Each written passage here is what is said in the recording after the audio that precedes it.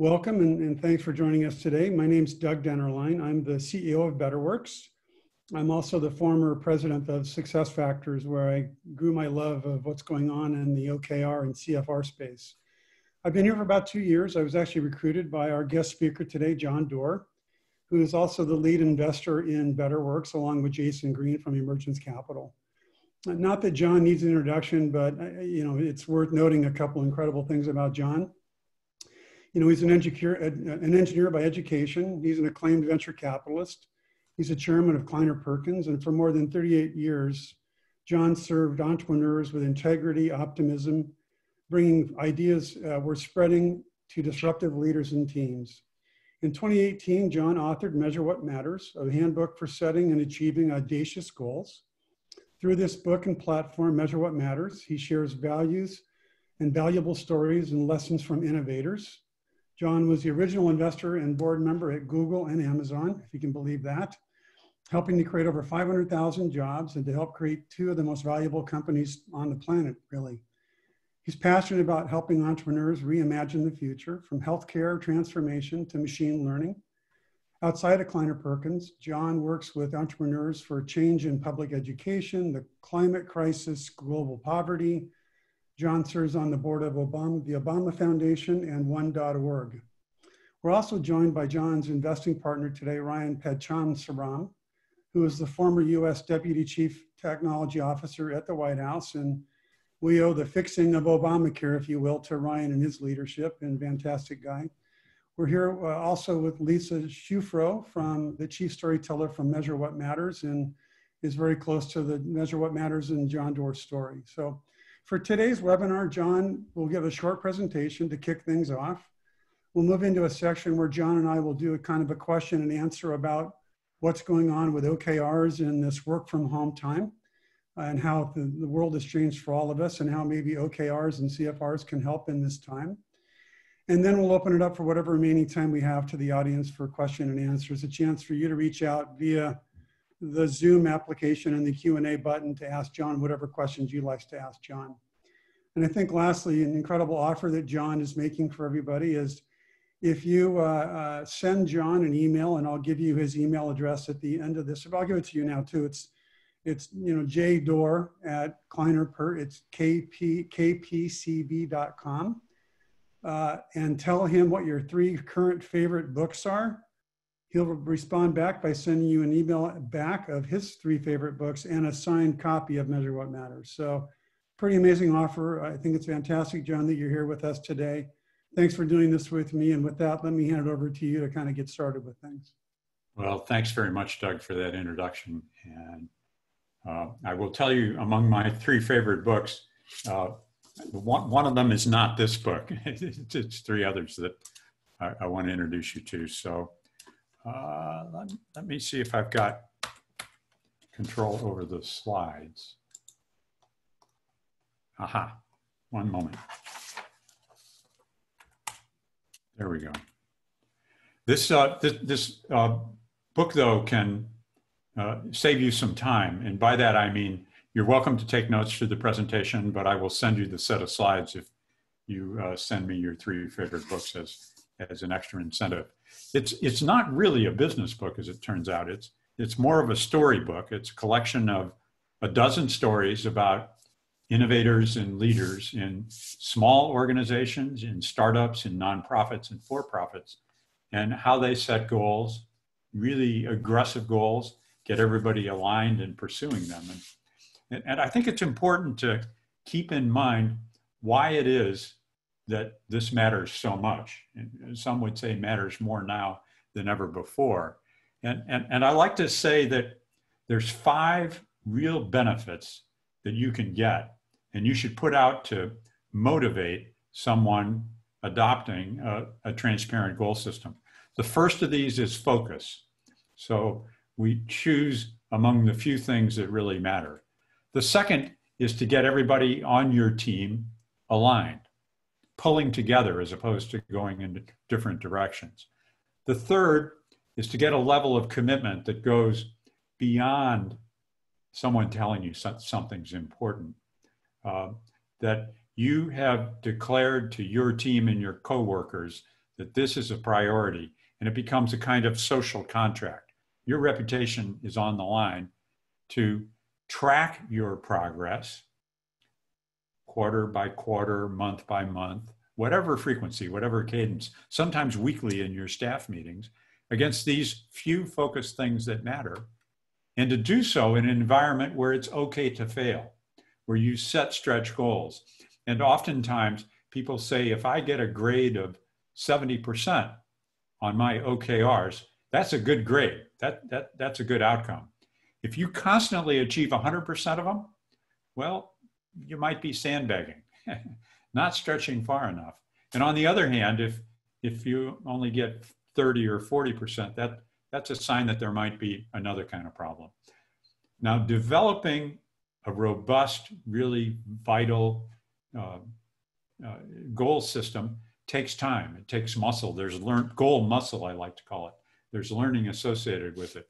But the, all these combined together, I like to say, as a mnemonic, are just the facts. They're the essence of a, of, of, of a good and robust goal system. Now, I was first exposed to this system in 1975 when I came to Silicon Valley as a kind of long haired electrical engineer. I had no job, no girlfriend, no place to live. but uh, I, I, landed a summer job at a small new chip maker by the name of Intel, just around the time that they'd invented the microprocessor. And this is Andy Grove. He was uh, not the CEO in the beginning, he was the chief operating officer. But Andy, Andy really made the trains run on time. And, and, and he also believed that the role of a leader of an organization is to be an educator. And in fact, till the very end of his life, he taught courses at Stanford and, and, and had all his senior executives teach. And so now I'm going to share with you a very rare piece of video. This is a classic. You can't find it on the web. And this is Andy Grove in 1975 teaching a class that I happen to be part of on objectives and key results. Here it comes. Turn the volume up on, on your, your computer right now. Here's Dr. Grove. The two key phrases of the management by objective systems are the objectives and the key result. And they match the two purposes. The objective is the direction. The key result has to be measurable. At the end, you can look without any argument did I do that or did I not do it? Yes, no. Simple. That's vintage Grove. No arguments. Yes, no. Did I get it done? Did I not get it done? A very simple system. So objectives and key results, or OKRs as they're fondly referred to, O's being the objectives, KRs being the key results. Well, th th they're really two sides of, of any important goal. The objectives are what we want to have accomplished. Remember, reviewing the objectives are what we want to have accomplished. The key results are how we're going to get it done. What and how, objectives and key results. Now, really good objectives are significant, concrete, very much action oriented, and they're inspirational. They would be a goal that might live for a long time. Or there may be a development like a pandemic or some other change in the market that renders those irrelevant, in which case you just change them. But they're what we want to have done. The key results are how we get it done. And good key results are specific and time bound. They're aggressive, but realistic. We talked about having stretch goals. And they're also measurable and verifiable. Uh, one of my students in OKRs, Marissa Mayer, who ran product at Google before she left to run Yahoo, was fond of saying, if it doesn't have a number, it's not a good key result. And so I want to tell you a few stories from my storybook of uh, how people use objectives and key results. Uh, maybe the place to start is um, is is back in when, when, would it have been? The late 90s i guess. And uh, i was in a garage with two 24 year old entrepreneurs telling them about in fact showing them this slide set using andy grove's training slides for okrs and of course those two entrepreneurs in their garage are Larry Page and Sergey Brin. And I went through my presentation, and at, at the end of it, I, I, wanted to ask him, you know, do you like this or are you going to use it? And Larry Page really, he was kind of quiet at the time. He didn't have anything to say. I'd like to tell you that his partner, Sergey Brin, was really enthusiastic. He said, okay, John, we're going to go for it. But the truth of the matter, what he said was, you know, we don't have any better way to manage this company. So I guess we'll give this a try. And I, I took that as a, as, as a ringing endorsement. And to this day, every Googler, 100,000 of them, every quarter, writes down her objectives and key results, publishes them for everyone to see, grades those from the last quarter, and then sets them aside because they're not used for bonuses at Google. They're not used for promotions. They're used for a higher purpose, which is to get collective alignment on the things that matter the most. And I remember talking to Andy Grove while he was still with us, and he said, You know, John, I think Google has embraced OKRs more effectively than any organization I know, including Intel. So if you talk to any Googler about OKRs, whether they do them today or whether they've taken them from Google to some other organization, uh, you may be surprised by the answer. It's, it, it's a resounding yes. So I have another story to tell you that's in the book about Google. This is Sundar Pichai when he was a product manager in charge of a new browser. Do you guys remember the internet back in 2007, 2008? Well, it was slow and the browser was slow. It was Internet Explorer that I think, and a lot of us were on dial-up kinds of modems. And uh, Larry and Sergey gave Sundar the assignment to make the world's best browser, to make one that was really very rapid, starting with literally nothing and a pretty, pretty well established and functional competitor. And so Sundar spent a lot of time doing something really important. He got very clear about what the objective should be and how he would measure it, the objectives and the key results. And so his objective was, I'm going to make the world's best browser. Larry and Sergey had expressed that as they wanted a state of the art platform for advanced applications that could run securely, blah, blah, blah, blah, blah. He turned that into, we're going to make the world's best browser. But then the important part was, how am I going to measure my progress against it? And he said, well, I could do it by revenues or click throughs or any one of a number of metrics, ad, ads. But instead, he chose simply by number of users. And then for the next three years, he stayed with that goal. In fact, in the first year, he set a goal to have 20 million users of Chrome, and he missed it by a mile. He only got 10 million users. In 2009, he upped the ante to 50 million users. Same objective, build the best browser, but as measured by, those are the magic words, the number of users. And they got to 38 million, almost 70%. In 2010, he raised the bar again to 100 million users. And this time, with greater speed, enhanced distribution, doubling the marketing, he blew the number away. He got to 110 million users. Now, I love that story. Not so much because it has a happy ending, but because it, it shows the power of choosing the right objectives, having them be nearly timeless, and staying the course quarter after quarter, year after year. Uh, sometimes the power of OKRs comes from being able to change course and change course rapidly.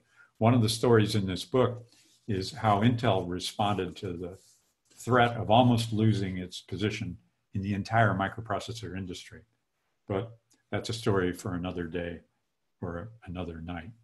Sometimes I'm asked questions about, John, don't these OKRs kind of stifle creativity and, and, and, and diminish a team's willingness to take on risks? And uh, I, I say no, but I think it's even better for you to hear from who might be an unlikely adopter of OKRs. The world's uh, greatest rock star, Bono, uses them in his nonprofit One to focus everybody on eliminating global poverty. And Here's what he has to say. Turn your volume up a little, please, about OKRs and culture and innovation and risk taking. So you're passionate? How passionate? What actions does your passion lead you to do? If the heart doesn't find a perfect rhyme with the head, then your passion means nothing. The OKR framework cultivates the madness, the chemistry contained inside it. It gives us an environment for risk, for trust, where failing is not a fireable offense. And when you have that sort of structure and environment, and the right people, magic is around the corner. Gosh, I love that. Think about that. It creates the kind of environment where it's okay to fail, where you can innovate. If you get the right people and the right goals and trust, uh, magic is right around the corner. Still gives me kind of goosebumps to hear it. So, uh, Doug, that's a quick overview of OKRs, where they came from, what they're about. I'm sure many of the people who've dialed in know this already. So, I'm going to turn it back over to you to Okay. field questions and drive us forward. Okay, well, thank you, John. That's awesome. Um, you know, I think probably the biggest question that's on people's minds is in this current environment where, you know, uh, people are home, not, but you know, by themselves in some cases with their families. Uh, their managers are distant from them. It's it's a new form of leadership in terms of managers and, and employees interactions. You know, how can how do you feel like OKRs could help in in this current environment? Well, that's a great question. You know, I, I think for the foreseeable future, employers are going to give employees a lot more choice about where they work and how they work. And, you know, there's been up until now a lot of happy talk about agile organizations and leading and managing in a real time kind of way. But I think it was more talk than substance. But suddenly, with a thud, you know, now we're all doing this. There's no choice about this. To be effective, you've got to meet, you've got to communicate, you've got to have transparency about where you're going. Uh, a, a, number of these insights I give Josh Bersin credit for as one of the uh, leading experts on, on goal setting and getting high performance from teams. But a system like this OKR system or the Better Work system really creates transparency uh, where, where it was never before. You know, I, I, wrote a blog that was actually published today about the fact that uh, the way that you use OKRs today really gives an employee all the way through the organization the visibility to see everybody's goals and everybody's progress on those goals. I think another important thing maybe you could talk about is you know, one of the one of the benefits of OKRs versus what I grew up with when I was at Cisco Systems, we had an annual planning process. Was we created these goals at the beginning of the year, we put a tremendous amount of work into them, and then we kind of put them in a drawer. Is with OKRs, the ability to alter those along the way, given the circumstances, is pretty powerful, is it not? It's powerful, and I think it's essential. Uh, look, uh, whether you're a millennial worker or a seasoned leader, uh, providing real-time feedback and real-time uh, uh, uh tracking against the, the ever-changing world is, is essential. And I think it's important for every organization to choose the cadence with which they adopt these. Uh, but I've observed over time and that could be quarterly, it could be monthly, but the places that really use these to advantage, uh, they're, they're not checking them every day, but they become part of the, the weekly rhythm and the language of an organization. They're, they're used in staff meetings, they're used in one-on-ones, in one-on-one meetings. So mm-hmm. uh, I, th- I, think, I think OKRs become the lifeblood of uh, operating in this new world. Yeah, I think what I mentioned in my blog too, I, I read an article where somebody was putting technology on laptops. It showed when people were using the keyboards and not. And, you know, I, I think that's, you know, two big brother kind of thing. The, the, a fact of what an OKR does is let you see achievement, which is probably a more important goal. you know, John, you, you've been, I don't mean to age you, but you've been around through multiple downturns, the, the dot-com, you know, bust, um, you know, the downturn in after 9-11, 2008. Have you have any experiences you can share with us in those times when people used OKRs to help them pivot when the world changed on them? Well, uh, one, one of the stories that's in the book is the way Andy Grove on 45 days notice pivoted uh, pivoted the entire Intel organization, which at the time I think was several thousand people, to uh, without inventing a, a, a, single new product, reposition their uh, marketing, their technical data, their application support, and their field engineers. And Intel would not be the company it is today. It might not even be around except for having made that change.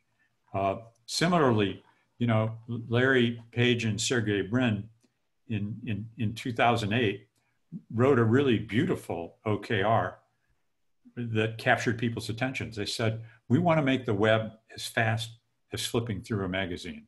And I don't think any of us would have embraced the internet if, to the degree that we have if it didn't get to be orders of magnitude faster, which they've achieved. Yeah, yeah. Well, I'm also getting some good questions from from the group too, John. Uh, even, but you know, one of the questions is if people are on an annual process today, what's the mechanisms to get it to move to something that's more continuous and more OKR oriented than a one-time event? That's a, that's a great question, and I'm actually working through this right now with another company that I'll name Nuna, where they use OKRs annually for the company and for the teams. But the leadership has set a goal by the end of the year to have OKRs for every individual in this rapidly growing company. And so their way to do it is by example. At the last all hands meeting, when they reviewed the OKRs for the company and the team, each of the leaders also stood up and said, Here are my individual OKRs. And graded, uh, transparent, and they're not just inheriting the company ones. These are the things, you know, the CEO, she's going to be responsible for the relationships and advancing certain accounts. And uh, I, I, I, you can put in place a dual timing track. That's to say that you have annual OKRs as well as quarterly ones. And the annual ones are reminders of where you want to be at the end of the year. The quarterly ones tend to govern more of the immediate behavior. Have you seen that with most of the clients you're working with, or do companies settle for annual OKRs, Doug? No, no, they, they, well, what, the way we try to communicate to people is, of course, there's many of your goals that are annual achievements. It's what are you doing this quarter to help move the ball forward to make sure you achieve it on an annualized basis. Great. Trying to break it down into more quarterly functions. Um, John, maybe talk a little bit about, um, you know, we talk, talk about OKRs and CFRs, conversations, feedback, and recognition as the other shoe on the OKR foot. Can maybe talk a little bit about how people totally. use the I'd, CFR? I'd, yeah, I'd love to talk about that. I, I like to describe them as a sibling, the uh, twin sister or, or, or brother for OKRs because OKRs set the goals. In a, football analogy, they, they are the, the, the goal line is the objective, and the key results you can think of as being the 10 yard markers. I've got to advance 10 yards to retain possession of the ball and stay in the game. But they're by no means everything that's going on in the game. CFRs are everything else. They're the conversations, the feedback, and the recognition that's calling the plays in the huddle. That's the work you do before the game and reviewing game tapes to, to, to learn about it. And so that feedback in the moment that you as a leader give to your team or you get for yourself is, is crucial. I mean, you can't imagine winning a football game or a Super Bowl without those added elements. And, and especially with this new generation of millennial workers, uh, what I found if, if I can venture into that, Doug, is, is that they really want to see the big picture.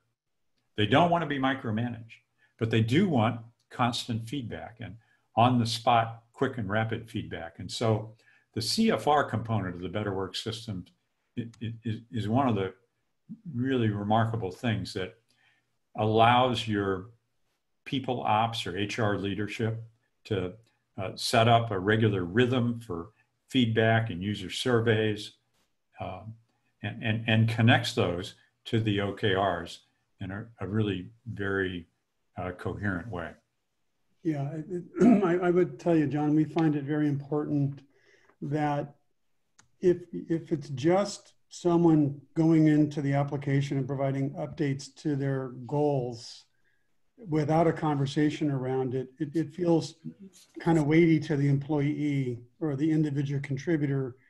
What the benefit is is sitting down with their manager on a regular ongoing basis and getting feedback about how's it going? What, what roadblocks did you hit going, trying to achieve your OKRs? How can I help you as a leader remove those roadblocks inside of what you're trying to accomplish? So a super important part of, this, I think, uh, in terms of making it a, a value to the person who's providing feedback on the OKRs they're working on.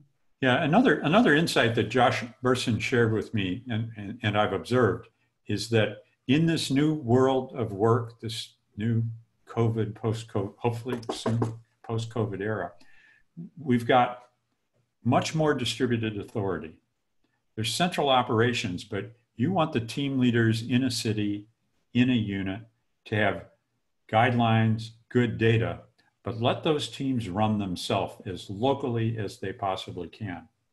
And, and I think the only way you can get there effectively is by building trust. And so the transparency in OKRs, together with uh, the investment in, in frequent feedback and CFRs, creates a, a much more trusting environment.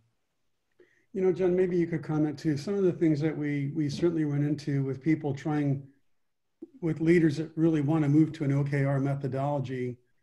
Um, you know, it's it's a big change management process that people go through, and sometimes they go, well, why don't I just do it with my leaders and try that for a while and see how it goes?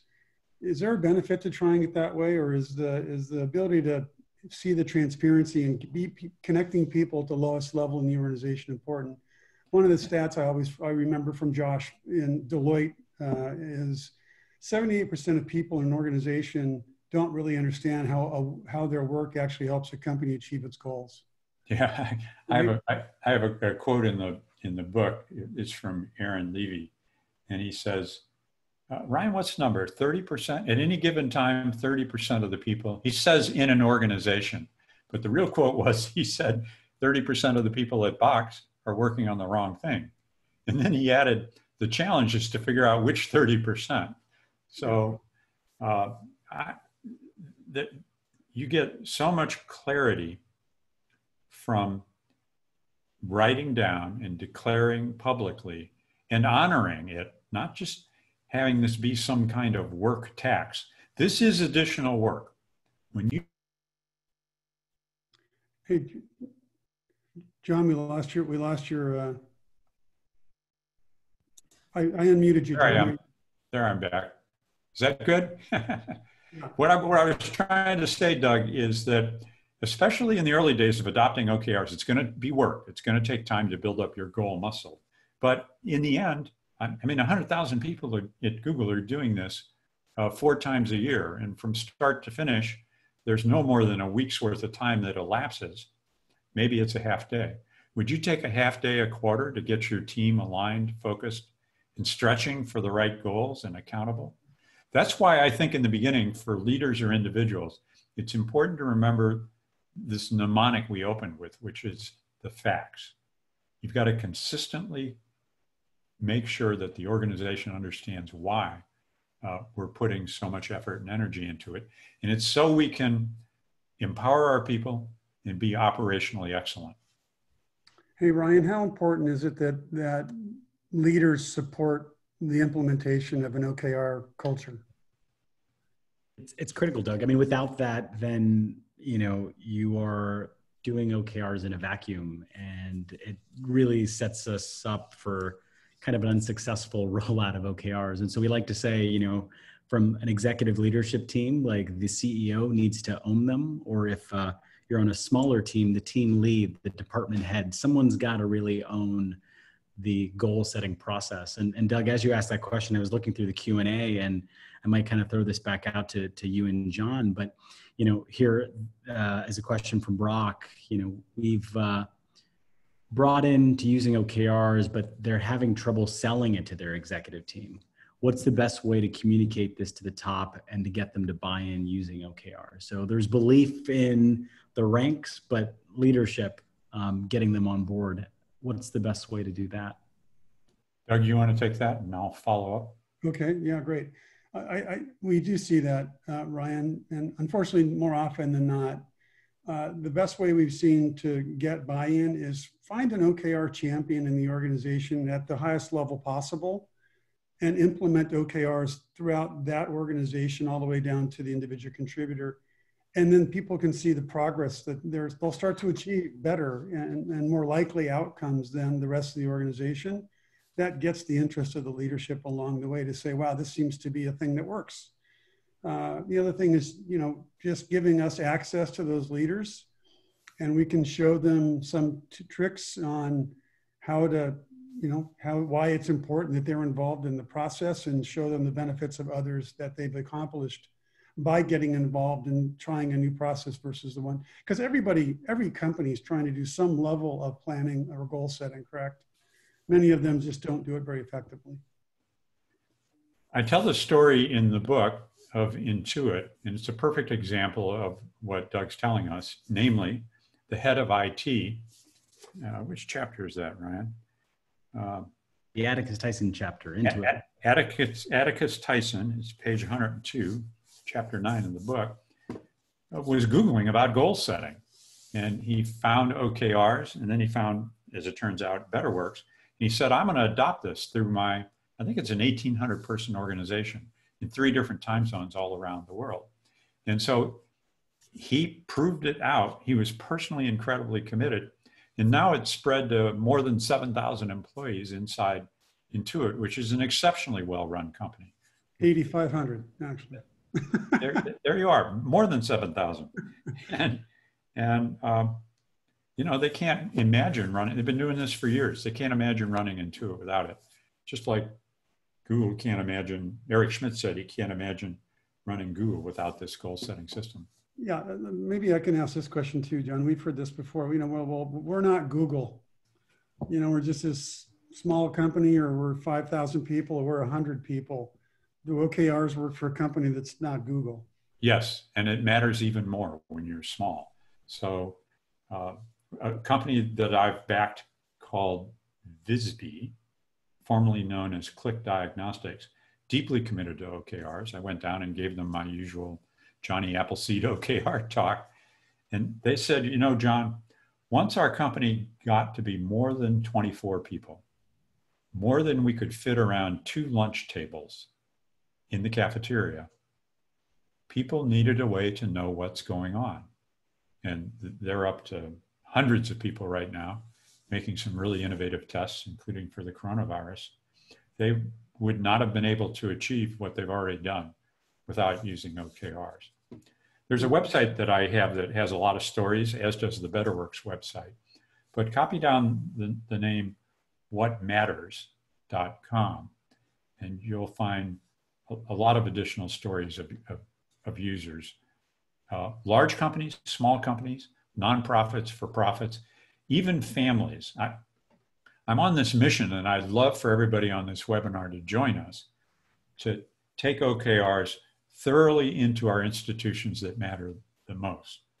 Uh, and and you know, I I've seen them used in families. I'm seeing them used now by governments. I thought the last place in the world that would be want to take a public risk would be uh, an agency of the administration.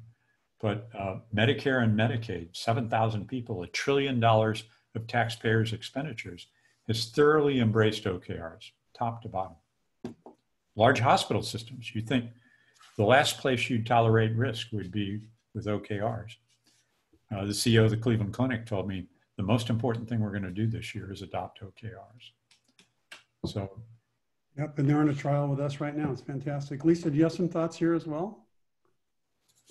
So just sort of adding to that question of how you uh, get buy-in on the team, I'm very blessed that uh, we get to hear so many emails and people sharing stories with us on our social media about how you persuade an organization to embrace it little by slow, as they say in the South, uh, if, if you don't have the top down. Um, I have a great story from a banking team that is used to being run in a very hierarchical way because there's always a lot of risk uh, aversion in, in, in all of that what they did was they took a strategic team and they went to the leadership and said, We know you don't have time to meet with us. This is what we're going to do. And they didn't call it OKRs, but they used OKR thinking and they were like, if you'd like to discuss this with us, uh, now's your chance. Otherwise, this is what we're going to do. And it turned out that they ended up delivering the results, and and and now a team of twelve thousand is in the process of of rolling it out. So um, the the clear thinking and clear articulation, particularly when things are chaotic, you don't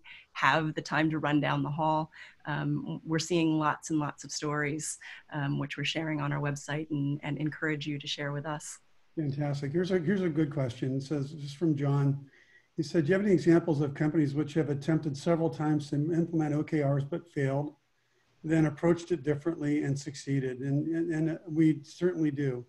Um, and, and, what we've also tried to do as a provider of an app, a platform that enables OKRs to be rolled out is we've also tried to fine tune the way that we try to help you in terms of the things we tell you to watch out for as you implement to start slowly.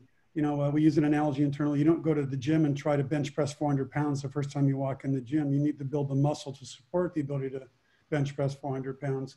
It's very true of OKRs too. Sometimes people use them more as an operational platform, and it's not for that. It's for the most important big things, the big rocks that you want to make sure people are aligned to and, and start slowly and build up over time. And so sometimes people have gone out with a really gung ho effort and it failed because it was just too much for people to adopt to. And so we, we can help you through best practices on trying to make sure we build a program that your culture can actually adopt to. I don't know John, if you want to answer Ryan and Lisa have any comments there too. I do want to add a couple more comments to that. One is, you know, we were talking about how you get the organization to adopt it. My very blunt advice is if the leader of your business unit or the CEO of the overall organization is not really committed to this, don't bother. Don't try. Yeah. But if they're going to work it into how they achieve excellence, how they make their people better, how they run their staff meetings. I mean, if if, if you're in a meeting at, at Google and somebody says we're going to do this new thing, I promise you somebody else in the team says, well, what key result are we going to are we going to drop in order? Result. Oh, there's Siri. so, so these are not a silver bullet. It's not a magic elixir. What it is, I, I, like to think of OKRs as transparent vessels into which we pour the values that matter to us. It is not the sum of all tasks.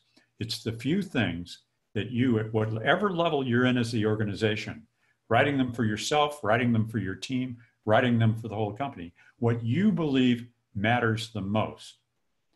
And they don't all have to line up in a hierarchical way. You, you certainly couldn't have 100,000 people at Google cascading their key results, waiting for each level to do it. So the executive team sets out broad goals and directions that are measurable. People are aware of that, and then they write and publish their own. It's, it actually ends up being fun to do, to, to, to see everybody aligned.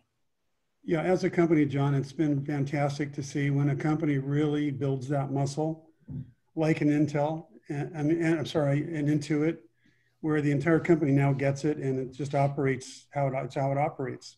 Hey, um, so there's a question out there, Ryan, I think you want to address, but it's from Brett Knowles, who's an OKR specialist in himself, to be honest. So great question for us, Brett. Thank you.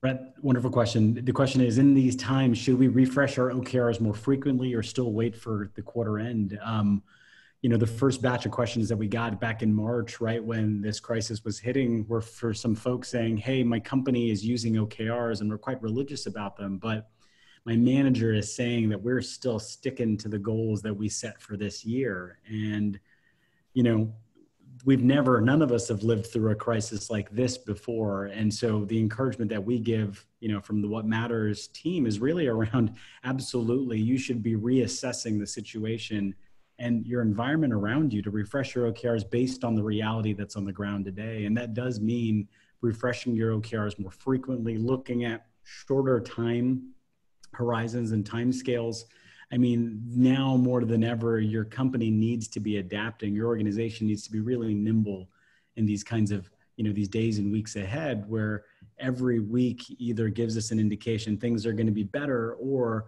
we've got to hunker down and find ways to get through the summer and into the fall. I know others on the call on, on might have some reactions as well too to this question. Yeah, I, I, I, agree with that. I want to come back to an earlier question though. That someone asked, "What's a good example of somebody starting stopping, and then going again. And uh, the, the Nuna story is one, but so is the very eloquent story with Anne Wojcicki. And that's on this website. It's a video interview at What Matters. It's whatmatters.com. So check that out.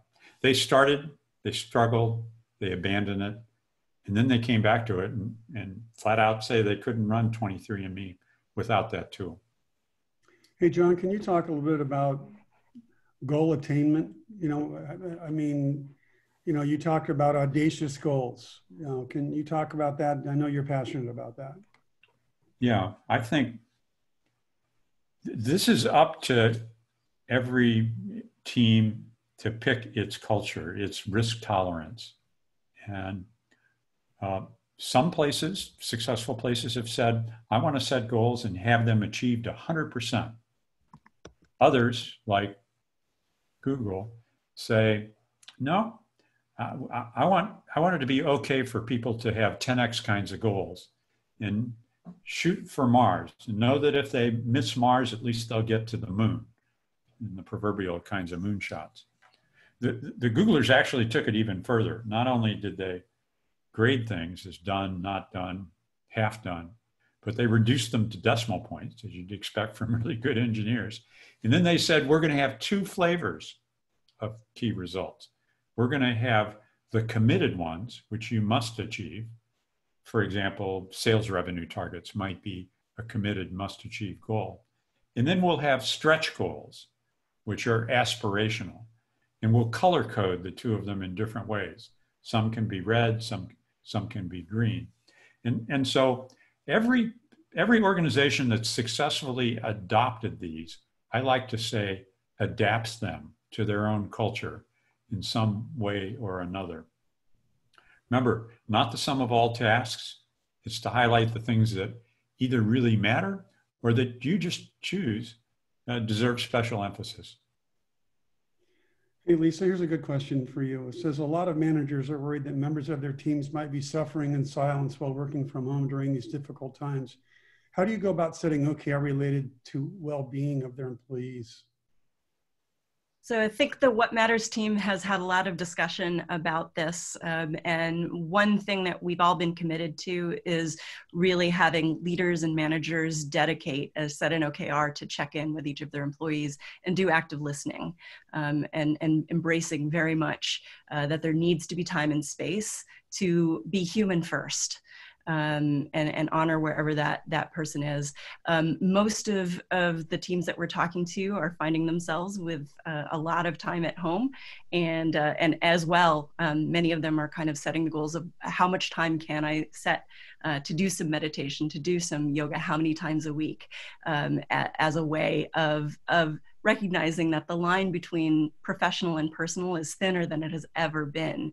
And so part of doing the work is admitting that your productivity um, is related to how kind you are to yourself and recognizing that as part of the work. So um, we share that in our newsletters, encourage people when they're doing their one-on-ones, when they're doing their team um, to, to set five minutes aside of every meeting um, dedicated to checking in. Um, these are the kinds of things that we think can add some of the ritual back from from you know seeing your favorite person in the office. Yeah, actually, at BetterWorks, we we maybe take it one step further. I, and I think a best practice that we share with most companies is it's important that most people we and recommendation is three to five goals. You know, you don't want twenty; it's three to five important goals. but maybe three of them are what you're trying to accomplish for the company and, and what you're driving forward for the company. But then pick one or two that are for you and have the manager sit with you and build a developmental goal for you so you're achieving what you want to achieve organizationally for the company you're working for. But then we also encourage everybody in our company to build one that's a personal one, whether that's you know, what, whatever it might be, you know, more exercise, lose weight, whatever it might be, you know, take an hour. I've encouraged people to have an OKR to take an hour a day to go be with the kids, go for a walk. You know, that can, that can be an OKR. And so right. one step further. And you can have private goals as well that are part of, part of the system that are tracked. That's I remember a, a, personal story when, uh, when my two girls were growing up, a, a, top objective of mine and my wife was to have a healthy family. And uh, we read and believed that a healthy family had to do with having dinners together. And so I set a stretch goal to be home for dinner 20 nights a month by 6.30 and be fully present so that I turned off the screens at that period of time.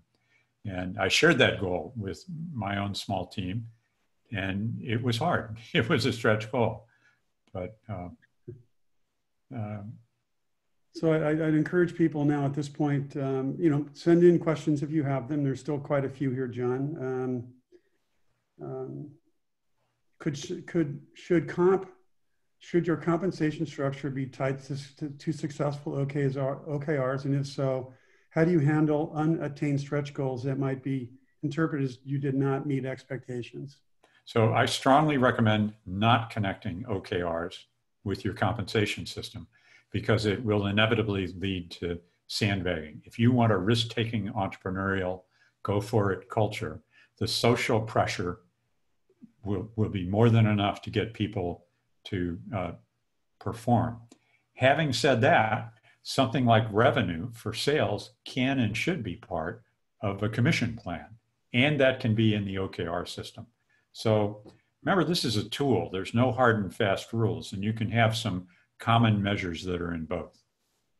John, only only thing I would add to that is you certainly don't want to use it hard line for did you achieve a goal that's tied to comp. But you know, there's a lot of other things that make up somebody's body of work and who they are as a human being and their brand in an organization. It's it's all of those things combined together that can potentially inform compensation. But if you make it all about goal attainment, that's a really bad quality to, yep. to do. Uh, here's one that's an important one for me too, John, to be able to explain to people. Can you uh, expand on the difference between cascading and aligning OKRs? Sure. Uh, the book that you'll get if you send me an email shows an example of those in, the form of a soccer team. But uh, cascading goals are those that are handed top down, whereas the bottom up way of goal setting is uh, is preferable, honestly, or at least a mix of them. A healthy OKR system finds the majority of goals are set bottoms up, having seen a big picture of where the whole organization's going. That's exactly the right thing. Um, this is also a very good question. How to help managers in having high quality conversations with direct reports, not just run them and click the box. Uh, you take that one, Doug. I, I will take that one. Um, you, you know, we have a saying internally, we can make managers better managers by forcing them, you, if you will, through the application to having four face-to-face conversations with employees. What we can't do is make them be good conversations. So there still needs to be an effort internally at a company to teach people how to have high quality conversations. One of the things that we are excited about that we will do is provide video vignettes inside of the application that know, we know you have a conversation coming up and this is the date. We can send you an email with a small video clip of, and we know the rating of the individual potentially or how you're feeling about that person, that we can send you a small clip on how to have a difficult conversation with somebody around an OKR or how to give praise in this conversation. You know, I know a lot of companies today, we're giving the advice of, really the conversation today, today should be more about listening than talking. It's how are you doing? It's about getting people, Lisa, to your point, is really getting them to share how they're feeling about being at home and being isolated from work and potentially from family. All right. Any other comments on that, guys? You're welcome to pipe up. There's a good piece on alignment, um, Lisa, with the team at Beam Dental. I think worth sharing, right around misalignment. Do you want to share that? Sure. Um, I think last week we just, uh, or a couple of weeks ago, we published a story about, uh, it's actually a Kleiner Perkins portfolio company named Beam um, that is reinventing um, dental service in healthcare. And um, what was going on to your point about top down and bottom up discussion was they were noticing that these two teams just kept uh, quibbling and quibbling and quibbling and it got it felt almost personal. We all know um, we all know organizational politics, but uh, to their credit, uh, the executive team kind of took a step back and said, What's going on? These are all good people. Recognized that the OKRs were actually misaligned and, and directly opposing each other. And this bottom up feedback caused the executive team to completely rewrite their objectives. Um, and in fact, backing off of a specific metric and going back to the aspirational um, uh, qualities of it so it would give more uh, a power to the individual teams and cause them to find uh, actual alignment. So um, it's just it's a nice simple and it, and it didn't take that long. It was that they were able to find where where the opposing points of view were very quickly, and then zoom out in order to to to release uh, all the talent. So there's a lot of questions. Um, could the objectives also be measurable or just the KRs? Why or why not? Uh, properly chosen KRs will cover the objectives. What I mean by that is if you achieve the KRs and they're well designed, you will by definition achieve the objectives. So the place to get to the numeric detail is in the how.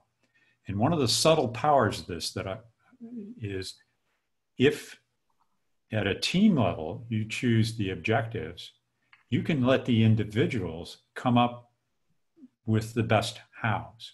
What I mean by that is we all know in business there's often several right answers. And so when my doctor, who has the objective of making me healthy, tells me to run a marathon, it's way less effective than if I choose to run the marathon as the way of getting healthy. So that that decoupling of the objective from the key result really encourages ownership, innovation, and operating excellence.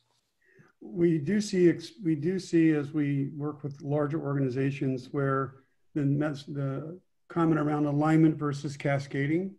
A lot of times, what might happen a couple layers down in an organization is the KR for a top company objective actually might be promoted to an objective for a layer down or two, and then KRs are associated to that, and the application allows you to do that. Uh, maybe guys, we're down to four minutes here and we want to be honor your time uh, appropriately. Um, John, maybe we, we want to just uh, make a couple comments in closing here with the presentation and I'll remind people of the offer, the generous offer that you have, because I think maybe some people joined us late too, so. Well, for sure. I hope you can uh, still see the screen. Uh, I have a few of these books and nothing would make me happier than for them to be in your hands or a key executive in your organization or your team. And if you'll send me an email to this mail address with the, your three favorite books or that have changed your life, I'll respond with a copy of these slides. Uh, please also send me a home address where, if you're comfortable with that, where I can uh, send these books. And um, and if you'd like a second book for your favorite school principal or head of a nonprofit or something, uh, put their name for an inscription in it as well, and I'll, I'll send them both along. I was given a great gift in 1975. Andy Grove introduced me and hundreds of others at Intel to this goal setting system. And so I've, I've just always wanted to pay it forward, to pass it along. And uh, I, I, think, uh, I think that's that's it, John. You, you, are doing a wonderful job of that, my friend. And I'm honored to work by your side. Um, here, here is a couple of other webinars, folks, if you want to join us again and continue this conversation that are upcoming for us to all of you. Uh, but I want to thank John and Lisa and Ryan for participating and all of you for joining us uh, in these incredible times that we're trying to live through. So appreciate everybody and I'll say thank you for everybody for joining. We're going to keep the uh, session up for just a moment. Somebody requested that we put that email address in the chat. So do you want to do that, Ryan? I- I did that, John. The other thing, everybody, is we're sending an email out tomorrow where you'll have a link to click that you can fill out the three books in your name and we'll ship you a a book that way too. So you don't have to just email John. You can do it through an email link that we'll send you tomorrow. That'll be great. And if you found this session valuable or how we could make it better, let us know. Well, We'll do another- we'll do it. We'll, we'll, we'll do another one for folks you invite to attend. Sounds good. Thank you, everybody. Thanks. Goodbye Be safe. Thank you, John.